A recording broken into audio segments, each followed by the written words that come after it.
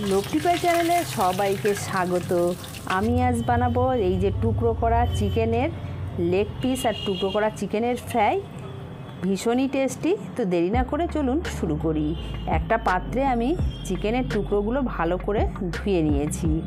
নিয়ে এখন ওর মধ্যে দিয়ে দিচ্ছি আদা, রসুন, পেঁয়াজ আর কাঁচা লঙ্কা একসাথে বেটে নিয়েছি। দিয়ে দিলাম স্বাদ মতো নুন। দিয়ে দিচ্ছি হলুদ গুঁড়ো, দিয়ে দিচ্ছি জিরে গোলমরিচ গুঁড়ো একটু লঙ্কার গুঁড়ো আর গরম মশলা গুঁড়ো।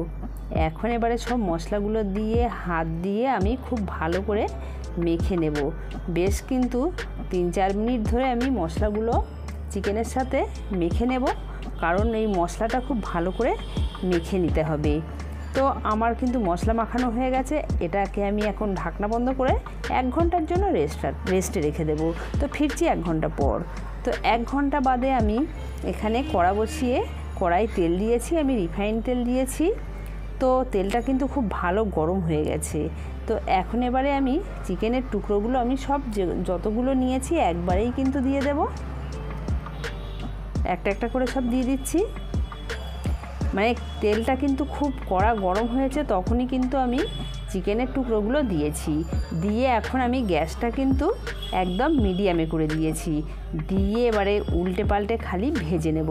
তো আমি উল্টে পাল্টে ভাজতে ভাজতে আমার সময় লেগেছে প্রায় কুড়ি বাইশ মিনিট। কুড়ি বাইশ মিনিট কিন্তু এরকম উল্টে পাল্টে ভেজেছি। তো মাংসটা কিন্তু খুব ভালো সিদ্ধ হয়ে গেছে।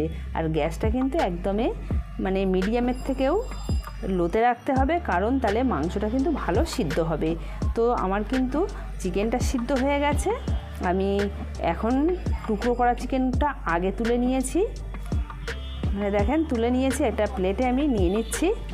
আর যে লেগ পিসটা রেখেছিলাম, তো প্লেটে নিয়ে নেওয়ার পরে এখনও আমি কড়ার মধ্যে যে লেগ পিসটা আরও দু তিন মিনিট কিন্তু আমি এটা ভেজে নিচ্ছি। তা আরও দু তিন মিনিট ভেজে নেওয়ার পরে এটাকেও আমি তুলে নিচ্ছি। তো দেখতেই পেলেন মানে টুকরো করা চিকেনের এই টুকরোগুলো এরকমভাবে আপনারা ফ্রাই করে খেয়ে দেখবেন। ভীষণ, ভীষণই টেস্ট খেতে।